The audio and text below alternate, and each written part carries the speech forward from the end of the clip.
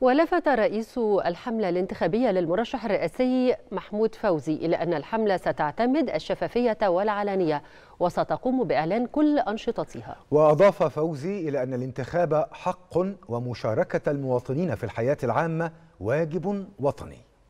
نتقدم كحملة بالتحية لكل راغب الترشح ونحن ننظر لهم بعين الاحترام الواجب وندعوهم إلى خوض غمار المنافسة الانتخابية بشرف وتنافس بما يعكس الأصالة والحضارة المصرية المترسخة فينا.